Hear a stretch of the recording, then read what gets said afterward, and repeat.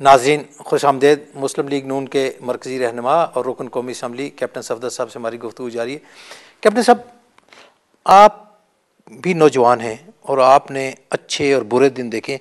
आप क्या समझते हैं कि मुल्क की तकदीर किस तरह बदली जा सकती है? मैं ये समझता हूँ, मुल्क की तकदीर, आज गुलाम साख खान ज़िंदा होते तो मेरा ये दिल कहता है कि वो शख्स टी वी पर आके कहता कि मियाँ नवाज़ शरीफ साहब की पहली हुकूमत को तोड़ना मुझसे बहुत बड़ा जुल्म हुआ है और कौम से वो माफ़ी मांगते जो नबे की दहाई में हुकूमत टूटी थी। और ये मैं आज आपको बता देता हूँ कि एक वक्त आएगा, परवेज़ मुशरफ ये ज़रूर लिखेगा और कहेगा कि 97 की हुकूमत पे शब खून मारना मेरी सबसे बड़ी गलती थी। जब हुकूमतें दो तहाई अक्सरियत से बन जाती हैं, जब आवाम उनको चाहते हैं कि ये पाँच साल काम करें तो उनको फिर पाँच साल काम करने की इजाज़त होनी चाहिए। उन पर शब खून ना मारा जाए। उनके ख़िलाफ़ साजिशें ना हो। उनका जो कौम अब चाह रही है कि जी एक शख्स को टाइम मिले और वो आगे चले। और एक ऐसा दौर जिस पर ना अल्हम्दुलिल्लाह कोई करप्शन थी। आपकी मोटरवे बन रही थी, बेरोज़गार स्कीम आ रही थी, अपना घर स्कीम था, ट्रैक्टर्स दे रहे थे, एक खुशहाली आ रही थी नबे की दहाई में। लोग कह रहे थे कि दुबई, अबू धाबी में जो लोग काम कर रहे हैं, गल्फ़ वाले सारे वापस आ जाएँगे। ग्वादर से हमें खैबर तक एक रोज़गार की चमक नज़र आ रही थी कि कहीं इंडस्ट्रियल स्टेट बनेगी, कहीं मोटरवे होगी, कहीं अपनी गंदम इतनी हो गई थी कि हम सोच रहे थे इस गंदम को बाहर भेजा जाए। चीनी इतनी सरप्लस हमारे पास हो गई थी और अल्लाह का करम था, रहम था। एक खुशहाली की लेर आ रही थी नौसत ख़त्म हो गई थी। एक गुलाम शाह खान साहब ने शब खून मारा फिफ्टी एट टू बी की आड़ में। एक परवेज़ मुशरफ ने मारा। जब तक अवामी हुकूमतें अपना टाइम पूरा नहीं करेंगी, उस वक्त तक कोई पॉलिसीज़ नहीं बनेंगी, उस वक्त तक हम लोग कामयाब नहीं हो सकते। जब भी हुकूमत को तब्दील किया जाए, आवाम की राय उसमें होनी चाहिए। एक वोट की ताकत से लाया जाए, वोट की ताकत से वापस घर भेजा जाए। कैप्टन साहब जमहूरीत का ज़िक्र कर रहे हैं। सेनेट के इंतखब होने वाले हर बच्चे बच्चे को पता है कि दो करोड़ रुपया और एक करोड़ नबे लाख रुपया सुबह सरादन बलूचिस्तान में सेनेट के एक वोट की कीमत पड़ चुकी है और ये बिकेगा। आप नहीं समझते कि ये जमहूरीत के नाम पर लूट मार जो करते हैं, एक बार इनकी सर्जरी करनी बड़ी ज़रूरी है? मैं ये समझता हूँ कि दो करोड़ तो आपने बड़ा कम बताया है। अब जिस जगह पे जो गंदम हमें दी जा रही है, उससे अरबों रुपया कमाया जा रहा है। छोटे से डिस्ट्रिक्ट से दो अरब रुपया निकाल लिया है। तो ये तो अगर एक सेनेटर, एक वोटर के लिए पाँच करोड़ की भी बात होगी तो पैसा मौजूद है, चलेगा। इसकी, इन दो केसेस की इंक्वायरी करा लें, पैसा किसके पास है और कहाँ है? तो आपको सब नज़र आ जाएगा कि क्यों ये जल्दी जल्दी ये समेटा गया गंदम का और ये एमडीए का मामला? लेकिन कैप्टन साहब ये जमहूरीत के नाम पे जो वोट लेके अवाम का आना फिर अवाम को लूटना फिर उसी तरह अपनी गाड़ियाँ और लाइटों लाइटें लगी हुई और क्लाशन कॉफ़ी और फिर लोगों से वही वोट वोट लेंगे। इसको कट करने के लिए नौजवानों को सामने आना है। साहब आप लोग बड़े समझदार हैं। अगली दफ़ा ना किसी ने किसी की गाड़ी से मुतासर होना है, न किसी की क्लाशन कोफ से, न किसी के बड़े घर से, न किसी की इलेक्शन कम्पेन से। मैं यहाँ इलेक्शन लड़ा मुझे अभी तक हल्के का ही नहीं पता वो कहाँ कहाँ है।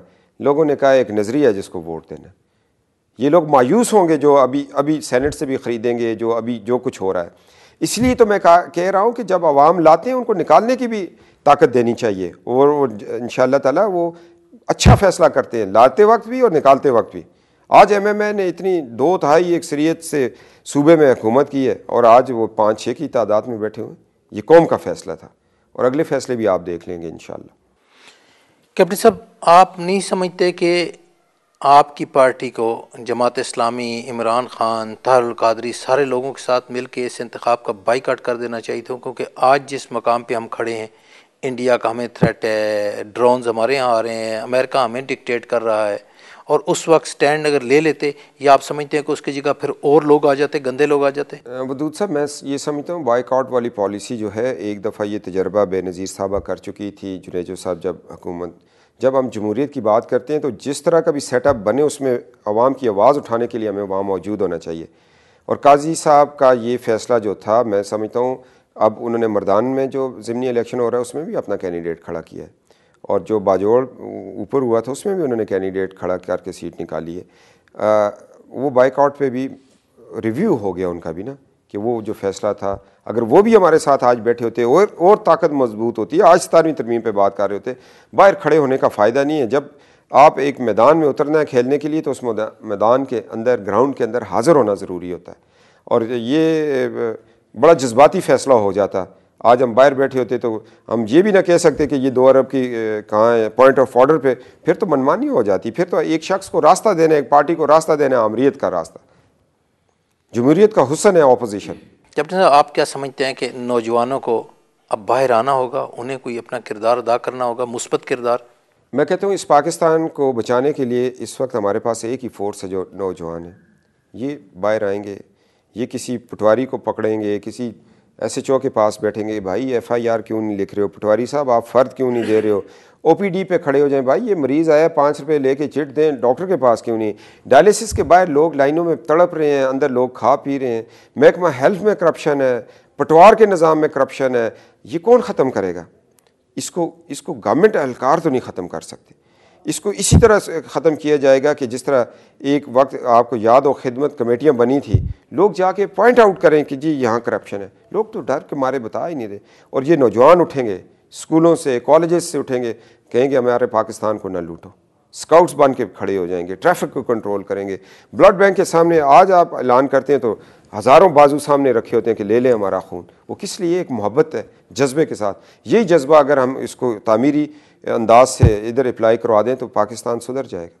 कम साहब आपने दो तीन बातों का ज़िक्र किया, ख़राब गंदम का किया, दो अरब रुपये के जमान ज़मीन का किया। मुस्लिम लीग नून के अरकान इस्लामाबाद से भी जीते हैं। यहाँ पर इस लेवल पे करप्शन होते हैं कि आप देख लें कि सी डी ए में आठ प्लाट जो हैं, वो ज़रूरी प्लाट जो कभी चार सालों में वो फौरी तौर पे एक महीने में अलाट कर दिए गए हैं। पोली क्लिनिक से पूरा ट्रक पकड़ा गया है जो दवाइयों का तो आपके अरकान की तरबियत की ज़रूरत नहीं है कि जहाँ करप्शन और बुराई है, उसके ख़िलाफ़ आपकी तरह पार्लियामेंट में बोलें, प्रेस कॉन्फ्रेंस करें इन चीज़ों को सामने लेके आएँ ताकि डाकू और चोर ज़रा खौफजदा हो जाएँ। देखिए, मैं उन लोगों का शुक्रिया अदा करता हूँ जो, जिन्होंने मेरे साथ ये मीटिंग की, हालात और वाक़ात से बाखबर किया, मुझे मौके पे लेके गए, सारा विज़िट कराया, कागजात मुकम्मल किए। अवाम जब अपने नुमाइंदे को पकड़ते हैं कि हमने ट्वेंटी परसेंट करप्शन पकड़ ली है वो फिर एटी परसेंट अपना ज़ोर लगा के निकालता है सारे हक़ लोगों को चाहिए कि अपने एम एन एज़ को बताएँ कि ये करप्शन हो रही है, इस पर उठाएँ असम्बली में, सूबे में बात, फिर बात पड़ेगी हमारा बस निज़ाम ये, लोग कहते हैं, शहादत नहीं देते जी किसी वकूए पे, कौन अदालतों में जाएगा, फंस जाएँगे, रोज़ पुलिस की पेश की होगी, चुप हो जाती। है अवाम अपना किरदार अदा करें, ख़त के ज़रिए लिखें वज़ी अजम को, ख़त के ज़रिए लिखें, पार्लियामेंट अरकान को, अपने नाम से न लिखें लिख दें कि या फ़लाँ जगह देख लें अकायक जाकर बड़ी चीज़ें हल हो जाएँगी। मैं ये समझता हूँ कि कोताही है इसमें। हमें अपना किरदार, हमारा मकसद है आइन बनाना, उसको कानून को बनाना, लोगों को पकड़ना। हमें आपने काम लगा दिया, गली बनाओ जी, टूटी लगाओ जी, स्ट्रीट लाइट टूट गई है जी, सुई गैस सी। वो खिदमत तो हमारा एक छोटा सा दफ्तर हो जो बैठ के करता रहे। मगर M N M P A का काम ये कि कानून साजी पाकिस्तान के बेहतर मुस्तबिल के लिए सुबह शाम काम। और आवाम भी फिर इस चीज़ का एहसास करें कि हमारा एम एन ए भाग रहा है एम पी ए भाग रहा है, वो जो काम, असल काम है उनकी तरफ़ उसकी तवज्जो है, उसको अप्रिशिएट करें तो वो और ज़्यादा फिर उठेगा। आज जाके देखें टाउनशिप के अंदर जिसको हमने पकड़ा है बैनर्स लगे हुए हैं। लोगों ने एक एक प्लॉट का ना नंबर लिख के लगा दिया, ये भी चोरी हुई है, ये सर्विस स्टेशन चोरी है, ये स्कूल हुआ है, ये शेल वालों को दे दिया, या, वो पेट्रोल पम्प के लिए दे दिया। ये सारी चीज़ें, वही लोग मंजर आम पे लाए मैंने थोड़ी सी एफर्ट की, अपना वकील कर लिया, जो उसकी फ़ीस होगी अपनी जेब से पे करूँगा, लड़ूँगा मुकदमा। अगर पाकिस्तान ने मेरे ऊपर इतना एहसान किया, उसने मुझे आर्मी में कमीशन दिया सी एस एस करवाया, उसने पार्लियामेंट में बिठाया हो तो अगर मैं अपनी जेब से इस पाकिस्तान के दो अरब रुपए को बचाने के लिए वकील की फ़ीस देता हूँ, सुप्रीम कोर्ट तक केस लड़ता हूँ तो मेरा ख्याल है मेरे ऊपर फ़र्ज़ है ये चीज़। नाजिन आपने कैप्टन सफदर साहब की गुफ्तु सुनी, ये कौमी असम्बली के रुकन तो हो गए हैं, लेकिन लगता ही है कि अभी तक मसलत कोशीन के करीब नहीं आई। पाकिस्तान का अवाम का और कौमी दौलत का अभी भी इनके दिल में दर्द है और इनमें जो उमंग और तड़प नज़र आती है, वो यही है कि इनका ये जज्बा जारी रहेगा और ये करप्शन को, बदनवानी को बेनकाब करते रहेंगे। इसके साथ ही अब्दुल वदूद कुरैशी को इजाज़त दें। अल्लाह हाफिज़।